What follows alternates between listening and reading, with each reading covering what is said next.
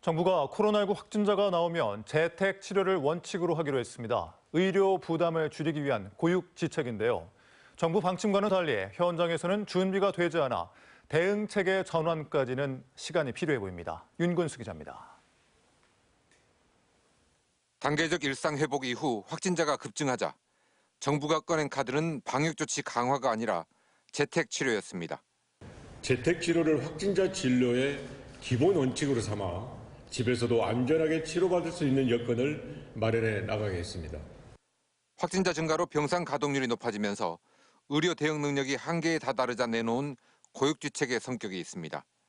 하지만 정부 방침이 발표된 이후 광주에서 재택 치료에 들어간 확진자는 4명뿐입니다. 우선은 수도권과는 달리 광주의 경우는 병상에 여유가 있기 때문입니다. 현재 우리 시 병상 가동률은 70% 정도로 비교적 안정적이지만 확진자가 계속 증가하고 있어 후속 대책 마련이 필요한 실정입니다. 재택 치료로 전환할 준비도 아직은 부족합니다.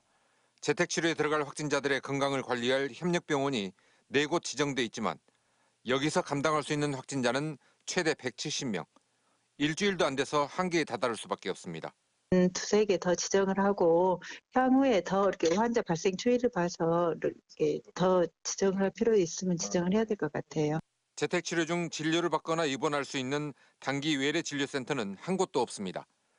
또 응급 상황에 대비한 이송 시스템이나 확진자와 동거인들의 격리 관리 시스템도 아직은 정비되지 않았습니다. 이 같은 문제점들이 제기되자 정부는 자치단체의 재택 치료 준비 상황을 긴급 점검하기로 했습니다. MBC 뉴스 윤무수입니다.